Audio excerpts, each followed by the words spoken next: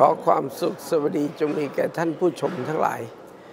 วันนี้ได้มีโอกาสมาประชุมร่วมกับพระมหาเถระและคณะกรรมการบริหาร มหาจุฬาลงกรณราชวิทยาลัยที่จะอบรมพระธรรมทูตรุ่นต่อไป และก็ได้ฟังความคิดเห็นของพระเถระที่ร่วมกันแสดงออก เรื่องของพระธรรมทูตก็ทำให้ความภาคภูมิใจในตัวเองว่า เราก็เป็นรูปหนึ่งเหมือนกันที่ได้ทำงานประกาศพระศาสนาเป็นพระธรรมทูต ซึ่งพระธรรมทูตหรือทูตะเนี่ยที่เรียกว่าเทวทูตเนี่ยเป็นทูตผู้ที่นำแสงสว่าง ธรรมทูตกับผู้นำธรรมะไปให้กับทุกคนได้รู้ได้ฟังได้เข้าใจกัน ได้ศึกษาคำสอนขององค์สมเด็จพระสัมมาสัมพุทธเจ้า พระพุทธองค์ทรงสอน ข้อความธรรมะเป็นสาระและเป็นประโยชน์ต่อชีวิตมาก อย่างเช่นพระองค์ทรงสอนให้เราทุกคนละบาป ไม่ให้ทำบาป ให้ทำแล้วก็ให้ทำคุณงามความดี แล้วก็พัฒนาจิตใจให้บริสุทธิ์เนี่ยคำสอนอันนี้ซึ่งเป็นคำสอนที่ไม่เหมือนของใคร ฉะนั้นเราจึงได้นำคำสอนที่องค์สมเด็จพระสัมมาสัมพุทธเจ้าสอนเนี่ย ไปประกาศพระศาสนา ไปช่วยชี้แนะไปบอกกล่าวให้คนอื่นได้รู้ โดยเฉพาะคนที่ยังไม่รู้ก็จะได้รู้ ในเมืองไทยเราเนี่ยพระพุทธศาสนาเจริญรุ่งเรืองมานาน แต่จะมีบางคนเท่านั้นที่ยังไม่มีโอกาสได้ศึกษาเราเรียน เมื่อไม่มีโอกาสศึกษาเราเรียนก็ไม่รู้เหมือนกัน ยังมืดยังบอดพอสมควร แต่ถ้าต่างประเทศแล้วแม้แต่พระสงฆ์ พระเจ้าก็ยังไม่รู้ไม่เห็นนะ ไม่เคยเห็นว่ารูปร่างหน้าตาเป็นยังไงฉะนั้นเราเนี่ยปรงผมทรงหงผ้าจีวร เป็นพระผู้ประกาศพระศาสนาเนี่ยเขาบางคนก็เพิ่งจะได้รู้ได้เห็นพอได้รู้ได้เห็นแล้ว เขาก็จะมาถามเราว่าทำหน้าที่อะไรเราก็บอกว่าจะได้ช่วยแนะนำพร่ำสอนบอกกล่าว ให้กับทุกคนได้ปฏิบัติดีปฏิบัติชอบตามคำสอนพระเจ้า ฉะนั้นเมื่อความตั้งใจดี จะนำคำสอนไปประกาศพระศาสนาเนี่ยจึงปรารถนาและตั้งใจเหลือเกิน เมื่อได้ไปไหว้พระในแดนพุทธภูมิสถานที่ศักดิ์สิทธิ์ของพระพุทธเจ้าเนี่ยเราก็อธิษฐานว่า ขอได้มีโอกาสนำธรรมะคำสอนพระพุทธเจ้าเนี่ยไปสั่งสอนไปทั่วโลก ก็ได้ไป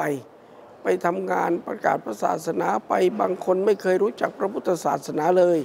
พอเขาได้รู้พระพุทธศาสนาเขาก็เข้ามา ศึกษาเล่าเรียนจนเข้าใจและปฏิบัติดีปฏิบัติชอบ เป็นครอบครัวที่มีธรรมะ และศึกษาปฏิบัติกัน ตามรูปแบบที่เขาดำรงชีวิตอยู่ได้ก็ไปฉะนั้นเมื่อทำงานอย่างนี้ได้มีผู้ที่มีอุดมการรักทำงานด้วยกัน เห็นว่าทำงานจริงจังมาตลอดยังใช้เวลาในการสอนอยู่ในอเมริกาและศึกษาหาความรู้ประสบการณ์ในการใช้ภาษาท้องถิ่น ถึง 16 ปี แล้วก็ไปสอนที่นิวซีแลนด์อีก 10 กว่าปีแล้ว แล้วก็เพื่อนฝูงหมู่คณะเห็นว่าตั้งใจทำงาน ก็ได้มาเลือกตั้งยกให้เป็นเป็นประธานโครงการอบรมหรือโครงการที่เผยแพร่พระพุทธศาสนาในโซนโอชิเนีย โอชิเนียก็มีนิวซีแลนด์และออสเตรเลีย และก็หมู่เกาะต่างๆ ที่ไปเผยแพร่ประกาศศาสนากันก็ได้ยกย่องขึ้น จากนั้นก็ได้ชักชวนเพื่อนฝูงหมู่คณะที่เป็นพระที่ใจสิงคำว่าใจสิงคือใจกล้าที่จะทำงานประกาศพระศาสนา โดยการปฏิบัติเป็นตัวอย่างให้เขาดู และก็ปฏิบัติดีปฏิบัติชอบให้เขาโดยเราที่นึกถึงคำสอนขององค์สมเด็จพระสัมมาสัมพุทธเจ้าที่สอนว่า ห้ามหรือให้ทุกคนละบาปทั้งปวง ไม่ทำความชั่ว ละบาปและไม่ทำความชั่ว และให้ตั้งใจทำคุณงามความดี และช่วยพัฒนาจิตใจคือเจริญสติเจริญปัญญา เจริญสมาธิ นี่เป็นทางที่ดีของพระพุทธเจ้า เมื่อสติปัญญาดีแล้วนี่ก็ลดละกิเลสปล่อยวางได้ กิเลสต่างๆ ที่มันเป็นเหตุให้มัวเมามืดบอดทำบาปทำชั่วก็ลดละลงได้ เมื่อเราไปสอนเขาอย่างนี้ทุกคนก็ได้ทำหน้าที่ โดยเราปฏิบัติตามอุดมการณ์ที่พระพุทธองค์ได้ประทานว่า จารถะพิกเวจาริกังพหุชนะอิตายะพุชนะสุขาระ เราต้องจาริกไปเพื่อประโยชน์สุขแก่คนหมู่มาก เพื่อความสุขแก่คนหมู่มาก เพื่อสงเคราะห์มวลชน ให้เขาได้มีความสุข คือนำคำสอนพระเจ้าไปสอน อามิตรที่เรามีแจกจ่ายกันเนี่ยมีอยู่แต่แจกจ่ายไปแล้วมันมีคุณภาพไม่ไม่ไม่คงทน แต่ธรรมะคำสอนเนี่ยถ้าแจกจ่ายไปแล้ว เขาได้เรียนรู้ได้ปฏิบัติตามปฏิบัติชอบถูกต้องเนี่ยเขาจะได้เป็นคนดี สามารถที่จะสร้างโลกนี้ให้เกิดความสันติสุขได้ ทุกคนมีความดีไม่ทำความชั่วด้วยกันทั้งหมด โลกนี้ก็สงบเย็นแหละ